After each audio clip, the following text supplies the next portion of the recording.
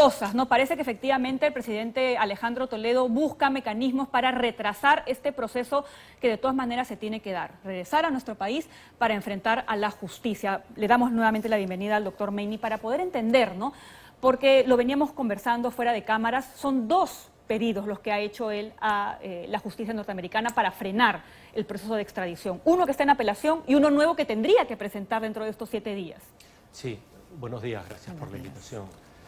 La defensa de Alejandro Toledo había presentado el año pasado un habeas corpus contra el juez Hickson, que es el juez que se encargó de analizar eh, la propuesta de extradición del Estado peruano y que al final la aprobó. Ese habeas corpus fue rechazado en primera instancia. La defensa de Toledo apeló. Esa apelación no ha sido resuelta todavía. Por tanto, lo que la defensa de Alejandro Toledo, ahora que ya el Departamento de Estado ha aprobado definitivamente la extradición, lo que ha hecho es plantear un nuevo pedido. Por una parte, ha solicitado que se suspenda la extradición hasta que la segunda instancia de la Corte de Apelaciones de California resuelva el habeas corpus que se le denegó el año pasado. Esa solicitud ha sido rechazada. Alternativamente, Toledo presentó una, nueva, una, propuesta, que es que se suspenda la ejecución del habeas corpus hasta que él presente una serie de argumentos para demostrar por qué no sería adecuado, ni correcto, ni legal que se le extradite en las condiciones en que el Perú se encuentra actualmente. Exactamente, dentro de los argumentos eh, podemos inferir que él vaya a apelar a la situación actual eh, que vive eh, todo el territorio nacional, la convulsión social, las crisis políticas, y esto podría ser escuchado por las autoridades norteamericanas. ¿Cuál es su impresión? Bueno, lo que ha dicho la jueza Diller, que es la que le ha concedido un plazo de siete días para que presente esta solicitud, y en caso lo presente, ha ordenado a la Corte del Noveno Circuito de California que resuelva ese eventual pedido que presente Toledo, digamos, cuando lo presente, y él se ha comprometido a hacerlo a más tardar el domingo 27 de este mes, es decir, en dos días, podremos saber con exactitud los argumentos. Sin embargo, uno puede especular, porque es público, que él está argumentando que la situación de convulsión social que atraviesa el Perú no permitiría que él pueda ser extraditado porque sería un atentado contra su seguridad, eventualmente contra su vida o integridad. Ahora, eso se puede hacer porque, digamos, ya presentó un pedido que se lo han rechazado. Presenta otro pedido, no sabemos qué vaya a pasar, pero si vuelven a cambiar las circunstancias del país, ¿podría eso presentar pedido tras pedido este, para que se reconsidere la extradición? Eh, creo que hay que diferenciar las razones por las cuales planteó en su momento un habeas corpus, que fueron básicamente que la persecución sería una persecución política, ¿no? desconociendo los evidentes indicios que existen contra él por graves delitos de corrupción, y esa discusión de alguna manera está zanjada. La jueza Diller no ha admitido que se suspenda la extradición hasta que se resuelva en segunda instancia ese habeas corpus. ahí le está diciendo, no señor, usted no es un perseguido político. Efectivamente, eso no va a suspender la extradición pero sí le ha dado la oportunidad de presentar sus argumentos para ver si razones distintas a la persecución política podrían suspender eh, la ejecución de la extradición. Personalmente considero que eso no sería viable, entre otras cosas porque si recordamos que gran parte de la convulsión social se origina a consecuencia del quebrantamiento del orden constitucional del 7 de diciembre, son precisamente las instituciones del sistema de justicia, Ministerio Público, Poder Judicial, Tribunal Constitucional, eh, Sistema Nacional de Justicia, las que rechazan ese quiebre constitucional y se mantienen del lado de la legalidad. Y los hechos lo están demostrando. Por tanto, creo que sería relativamente sencillo demostrar ante la justicia americana que no hay una persecución política y que por más que existan convulsión social, eso no altera los juicios y las investigaciones criminales. Es decir, hasta este domingo eh, Toledo tiene la oportunidad de presentar sus argumentos. Si la jueza, eh, la persona encargada de su proceso, no los toma en consideración, ¿En cuánto podría él eh, regresar aquí a territorio nacional? ¿Cuáles son los plazos? Y si su defensa puede barajar otra estrategia o posibilidad para que él continúe en Estados Unidos. Bueno, e, empiezo por esta última parte. Yo entendería que la defensa de Alejandro Toledo, como la defensa de cualquier persona cuya extradición es inminente, va a intentar interponer todos los recursos que la ley le permite e intentar algunos que la ley no le permite, a suerte de manotazo abogado. Cuestión distinta es si las autoridades de Estados Unidos van a admitir esos recursos. Yo entendería que este podría ser ya la última oportunidad que tenga Alejandro Toledo, insisto, porque ya no se le permite cuestionar la extradición. Lo que se le permite o lo que se le está dando la oportunidad es de presentar argumentos para demostrar por qué venir al territorio peruano atentaría contra su seguridad, contra su integridad, etcétera, etcétera. Esas razones, visto lo visto, no tienen mayor asidero. Además ya tenemos dos expresidentes en el mismo penal en el que él ocuparía y no les está pasando nada, sus derechos no están siendo vulnerados para nada. No solamente dos expresidentes, sino que Alejandro Toledo ya no está protegido por ninguna inmunidad o prerrogativa. El plazo que establece la Constitución para esos beneficios es de cinco años hasta después de haber dejado el cargo de presidente. Toledo fue presidente hasta el año 2006, por tanto, hoy día va a ser investigado y va a ser juzgado como cualquier ciudadano.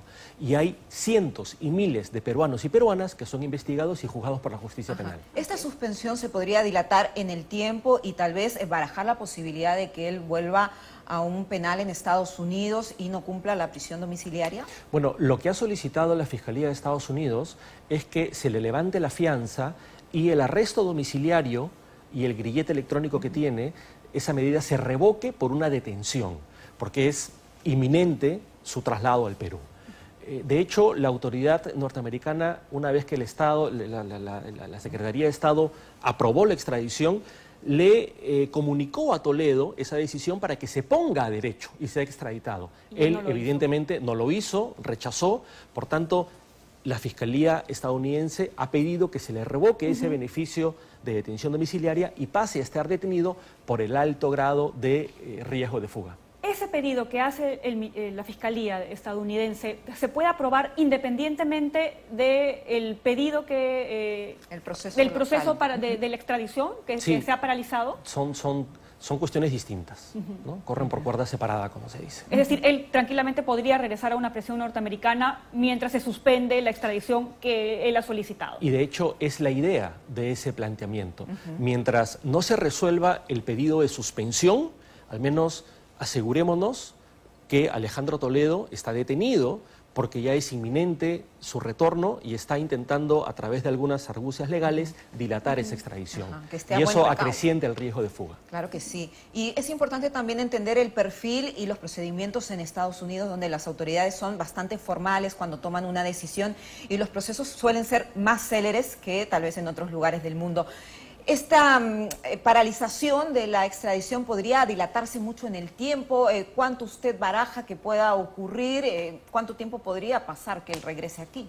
Bueno, lo que la jueza Diller ha resuelto el día de ayer es que va a esperar al 27 de febrero para que la defensa de Toledo presente este nuevo recurso de suspensión. No obstante, le ha dado un plazo de siete días que se empiezan a contar desde ayer, es decir, una semana. Si después de esa semana la defensa de Toledo no presenta ningún recurso, entonces automáticamente debería ser extraditado. O sea, no habría suspensión. Sin embargo, la propia jueza Diller ha dicho, si la defensa de Toledo presenta un argumento en esos siete días, el noveno circuito de California tendrá que responder, tendrá que resolver ese planteamiento. Por tanto, ahí podría dilatarse la suspensión hasta que la autoridad judicial competente resuelva este eventual nuevo pedido de Toledo. ¿Cuánto puede demorar eso? Yo considero que al ser argumentos, serían argumentos sin asidero legal, sin asidero jurídico, eso debería ser resuelto, supongo que en menos de una semana. Pero eso depende de los tiempos que manejen las autoridades americanas. Así es. Ahora, doctor, es importante que, que los televidentes también tengan claro, porque ya lo decía el doctor Julio Rodríguez en la nota, ¿no? Eh, el caso Ecoteva que involucra al expresidente es muy sólido. La ruta del dinero está eh, mapeada. punto por punto con los testimonios y con las casas que se compraron. Es decir, no habría preocupación de que, llegado el caso, eh, pues este señor vaya a recuperar su libertad, porque ya están las cosas dadas eh, e incluso hay un pedido ya de prisión preventiva en su contra. De hecho, el caso eh, que vincula al expresidente Toledo eh, que es delitos de lavado activos y delitos de colusión en calidad de, cómplice, es por haber recibido 35 millones de dólares de manos de Odebrecht, de Jorge Barata. Y esto está acreditado por la propia versión del señor Barata y por el rastreo del dinero y por la prueba documental que existe. Por tanto, hay una prueba muy sólida. Sin embargo, todavía estamos en lo que se conoce como una etapa intermedia. Es decir, el Ministerio Público ha presentado una acusación después de una larga investigación y ha pedido 20 años para Alejandro Toledo y el pago de una reparación civil de más de mil millones de soles. Eso está siendo ahora, en términos procesales, eh, analizado garantizado por un juez eh, penal para que pueda pasarse a juicio oral. Entonces, cuando Alejandro Toledo sea extraditado, él tendrá que integrarse en el estadio procesal que corresponda, ya sea en el actual, que es de esa etapa intermedia de verificación de los requisitos de la acusación, o ya en el juicio oral. Pero lo cierto es que la fotografía hoy día sugiere que es inminente que vamos a pasar a un juicio oral. Y será en el juicio oral en donde la defensa de Toledo tendrá que demostrar, y creo que va a ser muy complicado, que él no recibió 35 millones de dólares. En su opinión, ¿podríamos hablar del funcionario público más corrupto de los últimos tiempos? No lo sé. Depende. Yo, a ver, es difícil eh, decir cuál de los funcionarios públicos sobre los cuales hay evidencias de haber incurrido en corrupción está en el, en el top del ranking. Yo me animaría a decir que está en el top 10. ¿No? por la gran cantidad de dinero también que recibió. No solo, por supuesto, por la gran cantidad de dinero, sino porque lo hizo ocupando el cargo de presidente de la República. Y por tanto, si bien en los casos de corrupción estamos acostumbrados a ver el caso concreto, es decir, la obra pública, el soborno, el cohecho, cuando estos casos o estos hechos son perpetrados por altos funcionarios, se compromete algo distinto al patrimonio público. O sea, la decisión que como jefe de Estado o como presidente regional o alcalde o congresista se toma para eh, cometer un delito de corrupción es un daño a la función pública, porque los costos de esa obra sobrevalorada, que no se culmina o que no se necesita, afecta a todos. Afecta a todos y sobre todo afecta a las personas más pobres. Por eso es que se dice siempre que la corrupción afecta a todos, pero más a las personas más necesitadas, porque afecta al final los servicios públicos y las obras públicas peruanas. Y que necesitamos y están paralizadas cuántos años, ¿no? Increíble.